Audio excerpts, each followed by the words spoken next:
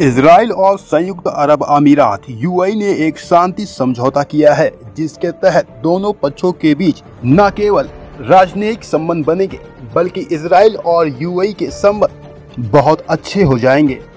Israel ने यह कहकर प्रतिक्रिया दी है कि यह वेस्ट बैंक के एक बड़े क्षेत्र में इसराइल का विस्तार करेगा। अमेरिकी राष्ट्रपति डोनाल्ड ट्रंप ने खुद एक ट्वीट में घोषणा किया है कि इसराइल के प्रधानमंत्री बेंजामिन नेतन्याहू और आबू धाबी के crown prince Mohammed bin Zayed ने एक शांति समझौता किया है। एक संयुक्त बयान में ट्रंप ने कहा कि ये एक मील का पत्थर साबित होगा। ये समझौता मिडिल ईस्ट में शांति प्रक्रिया को बढ़ाएगा। इस फैसले के बाद मुस्लिम दुनिया में काफ़ी गुस्सा है। लोग यूएई इसराइल और अमेरिका का काफ़ी विरोध कर रहे हैं। तो वहीं इस संबंध में तुर्की के राष्ट्रपति रजब तैयब एर्दोगान भी यूएई की तीखी आलोचना करते हुए नज़र आ रहे हैं। तुर्की के राष्ट्रपति एर्दोगान ने यूएई की आलोचना करते हुए कहा कि इसराइल के साथ समझौते पर इतिहास और दुनिया के लोग यूएई के दोहरे रवैये को कभी नहीं भूलेंगे। यूएई ने अपने फ़ायदे के लिए फिलिस्तीनी लोगों को धोखा दिया है। उन्होंने कहा फिलिस्तीन के खिलाफ कार्रवाई करना आसान नहीं है।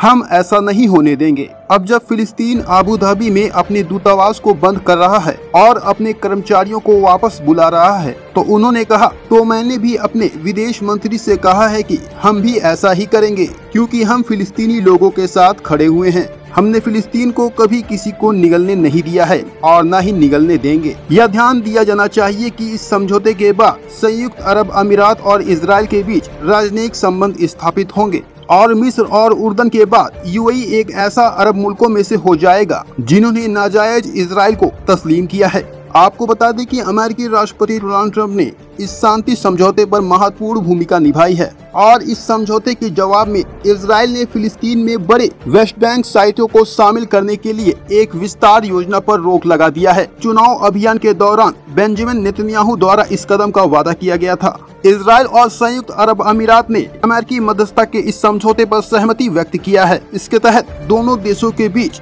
संबंध बेहतर हो जाएगा। जो कि यूएई ने अपने फ़ायदे के लिए किया है और फिलिस्तीनियों को पीठ पर एक छुरा भोपा है। आपको बता दें कि तुर्की के बाद ईरान के राष्ट्रपति हसन रूहानी ने इसराइल के साथ शांति, समझौते और राजनयिक संबंध स्थापित करने के लिए संयुक्त अरब अमीरात की तीखी आलोचना किया है और दोनों देशों के बीच शांति, समझौते को खारिज कर दिया है। उन्होंने कहा कि क्षेत्र में कोई भी प्रगति फिलिस्तीनी लोगों के बिना स्वीकार नहीं होगा। यूआई ने फिलिस्तीनी लोगों की भावनाओं को आहत किया है। वह फिलिस्तीन के राष्ट्रपति महमूद अब्बास ने भी यूएई के इस फैसले के बाद काफ़ी गुस्सा व्यक्त किया है और फिलिस्तीन के साथ साथ दुनिया भर के मुसलमान यूएई का भारी विरोध कर रहे हैं। ये तस्वीर फिलिस्तीन के मस्जिद अल अक्सा के बाहर की है, जो ये दर्शा रहा है कि लोगों में यूएई के खिलाफ कितना गुस्सा है। आपकी इस खबर पर क्या राय है, कमेंट करके ज़रूर बताएँ। Thanks for watching please subscribe TV Allah